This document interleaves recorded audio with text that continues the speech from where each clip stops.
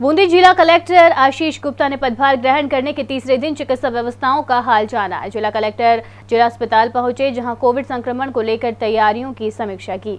साथ ही सभी परिस्थितियों से निपटने के लिए तैयार रहने के निर्देश चिकित्सकों को दिए। इससे पहले कलेक्टर के औचक निरीक्षण के चलते चिकित्सकों व स्टाफ में हड़कंप मच गया। निरीक्षण के दौरान ही कर्मचारी कमियों को ढकने में लगे रहे।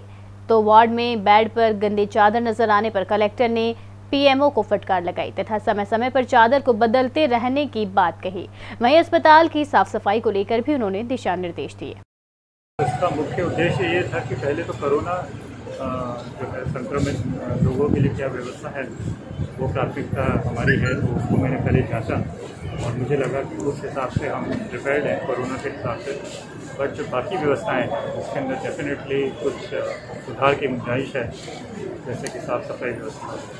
उसको हमको डेफिनेटली जो वार्डों की हालत है, उसको सुधारने की जो है हम प्लानिंग करेंगे। पी एम साहब के साथ बैठ के फंड्स कहीं से ला के मदर एंड चाइल्ड विंग को मैंने देखा, जो कि बहुत अच्छा एक इंफ्रास्ट्रक्चर है। बूंदी के